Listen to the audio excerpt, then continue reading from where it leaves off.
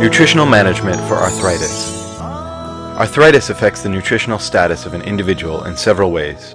The occurrence of arthritis is more common among obese people, so weight reduction is an important objective to be kept in mind while planning a diet for the arthritics. A well-balanced diet which promotes attainment and maintenance of desirable body weight is important. Gout, or osteoarthritis, is one of the diseases inherited by disorder of purine metabolism.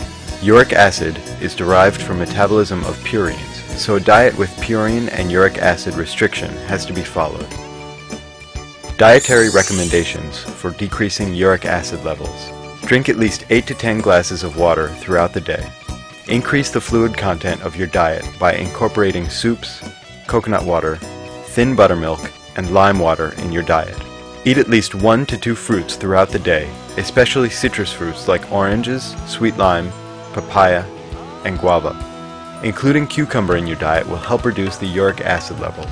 Avoid foods like spinach, tomatoes, strawberries, etc. Use cow's milk, skimmed milk for tea, coffee, or to set the curd. Avoid all coconut and ground nut preparations. Use a minimum of oil in cooking, 2 to 3 teaspoons a day. Avoid all fried and oily foods. Eat normal, balanced meals with minimum salt in cooking. Avoid table salt completely.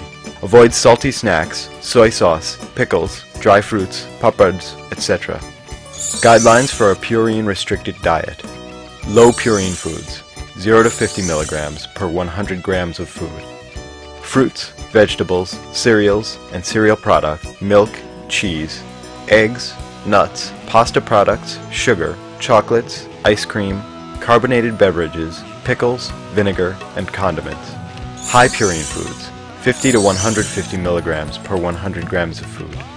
Meat, shellfish, seafoods, fresh and saltwater fish, lobsters, crabs, oysters, poultry, meat-based soups, all dried pulses and legumes, spinach, tomatoes, strawberries, wheat bran. Highest purine foods, 150 to 825 milligrams per 100 grams of food. Yeast, mackerel, organ meats like liver, brain, heart, sardines. Fasting should be avoided, as it causes ketone body formation, and these compete with uric acid for excretion, thus resulting in a rise in serum uric acid levels. Excessive fat inhibits uric acid excretion. This needs to be avoided. Restrict or avoid alcohol consumption. Consume plenty of fluids.